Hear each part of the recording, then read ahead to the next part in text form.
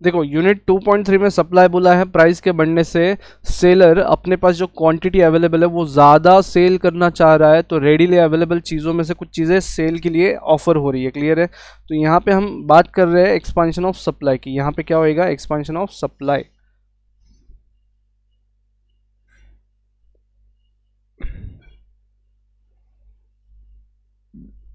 ये वाला पार्ट हमने दूसरे वीडियो में कवर कर लिया है, जहाँ पे changes of demand expansion contraction increase decrease of demand उस वाले पार्ट में सप्लाई का भी एक्सपांशन और कॉन्ट्रैक्शन वो सब चीज़ें कवर कर रखी है। उस वीडियो को देख लीजिए एक बार। उसके बाद में फैक्टर्स अफेक्टिंग सप्लाई क्या ये फिर से यूनिट 2.1 के जैसा नहीं लग रहा? फैक्टर्स अफेक्टिंग डिमांड के जैसा ही फैक्टर्स अफेक्टिंग सप्लाई खुद का प्राइस फिर रिलेटेड गुड्स का प्राइस फिर गवर्नमेंट फिर टेक्नोलॉजी ये सब चीज़ें है क्या वहाँ पे? तो देखो, पहला फैक्टर हमेशा क्या रहेगा? पी खुद की प्राइस फिर रिलेटेड गुड्स की प्राइस अपने यहाँ पे दूसरे कुछ गुड्स बन रहे होंगे तो उनकी प्राइस उसके बाद में टेक्नोलॉजी है क्या? अच्छा मेरे को एक बात बताना। इन बाकी लोगों की वजह से इंक्रीज या डिक्रीज हो जाएगा सप्लाई में ये जो बाकी की चीज़ है। और इसकी वजह से क्या होगा? एक्सपांशन या कॉन्ट्रैक्शन क्लियर है क्या? क्लियर अब देखो, यहाँ पे पढ़ाने जैसा अब कुछ बचता नहीं है। अगर तुमको डिमांड वाले पार्ट में ये सब चीज़ें समझिए तो वापस से वही चीज़ें रिपीट हो रही है सप्लाई के लिए। क्लियर है क्या? हुँ? हम्म? उसके बाद उसके बाद ये वाले पार्ट में आ जाओ। देखो, वहाँ पे इलास्टिसिटी में सबकी इलास्टिसिटी कैलकुलेट करना था आपको। डिमांड वाले पार्ट में सभी की इलास्टिसिटी पढ़ने को है। सप्लाई वाले पार्ट में सिर्फ़ और सिर्फ़ प्राइस इलास्टिसिटी ऑफ़ सप्लाई है। देख लो एक बार। है क्या इतना ही?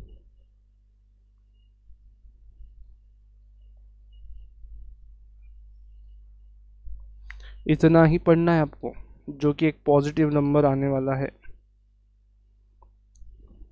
है क्या?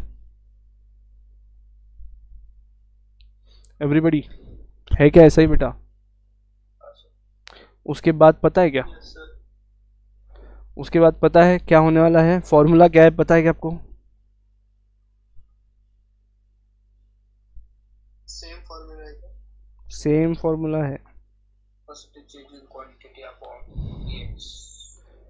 खत्म। ये पढ़ाने की ज़रूरत है आपको अभी? हाँ? तो ये वाला पोर्शन अभी ट्राई करो घर पे। इसके बाद में एक डायग्राम सिर्फ़ सप्लाई में अलग आता है देखो। अच्छा सप्लाई के इलास्टिसिटी के डायग्राम्स भी देख लो। पाँच डायग्राम से just like price elasticity of demand इसके भी पाँच डायग्राम है। कैसे कैसे देखो?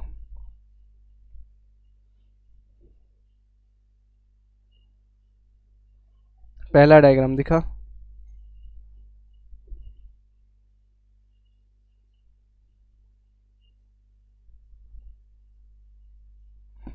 ये दूसरा डायग्राम दिखा।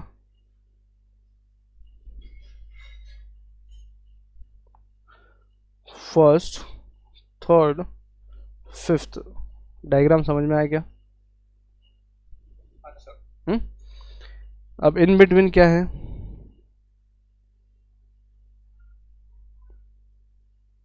ये y से नज़दीक रहेगा y के नज़दीक है ये वाला diagram more than one less than one आएगा बेटा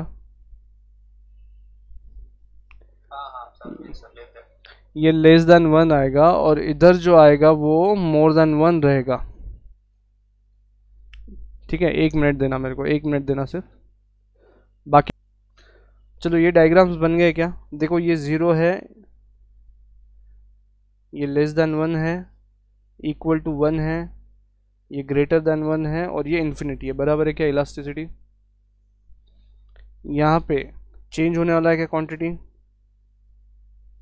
आवाज़ आ रही है?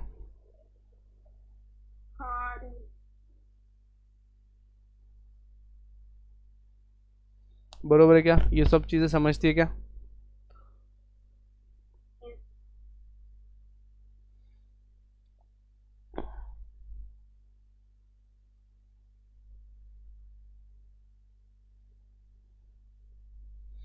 और ये परफेक्टली कंपेटिटिव में है। सेम उधर भी है। सेम डायग्राम उधर भी है देखो परफेक्ट कंपटीशन में भी है और इलास्टिसिटी उधर भी है। उधर पहले नंबर का डायग्राम मिलेगा डिमांड में आपको क्लियर है कि यहाँ तक का पार्ट क्लियर हुआ सबका?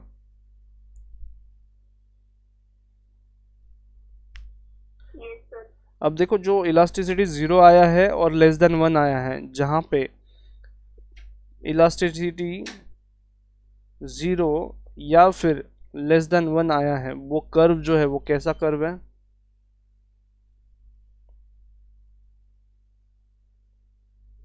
स्टीपर कैसा कर्व है वो? और जहाँ पे इलास्टिसिटी इनफाइनाइट आया है वो कैसा कर्व है?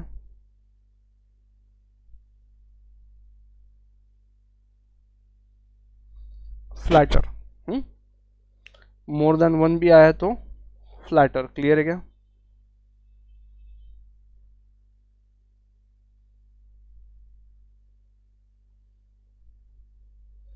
इलास्टिसिटी ऑफ़ डिमांड में भी सेम और सप्लाई में भी सेम अगर उन्होंने बोला बताओ एक फ्लैटर कर्व है तो इलास्टिसिटी कैसा रहेगा? तो कैसा रहेगा भाई इलास्टिसिटी मोर इलास्टिक रहेगा. मोर इलास्टिक ये दो वैल्यूज़ है. क्लियर है क्या? आई होप ये क्वेश्चन समझा आपको.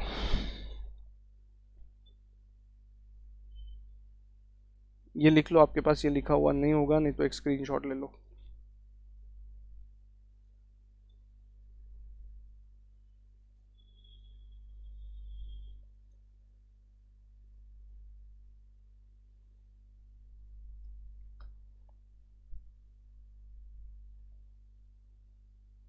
डन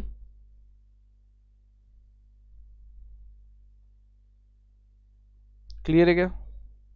स्टीफर में इलास्टिसिटी कम रहेगा और फ्लैटर में इलास्टिसिटी ज़्यादा रहेगा। Are we getting the point everybody is that okay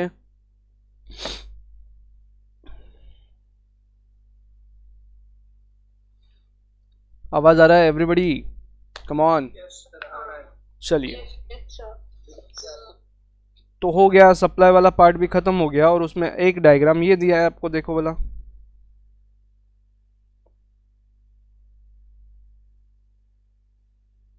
ऐसा एक डायग्राम दिया है क्या?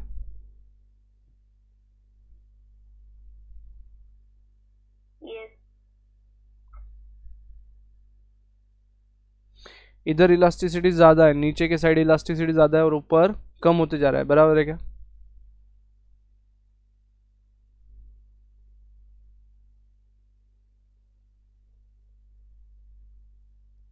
देखो।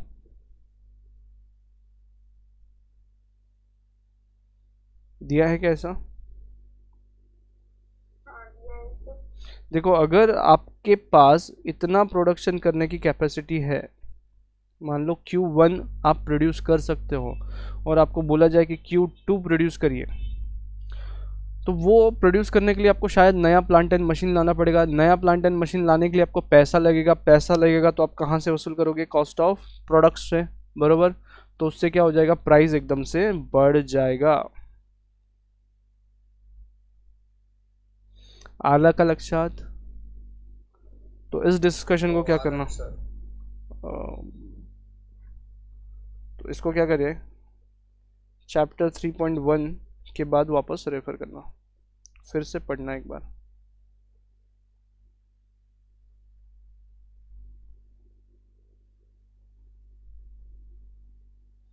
All right clear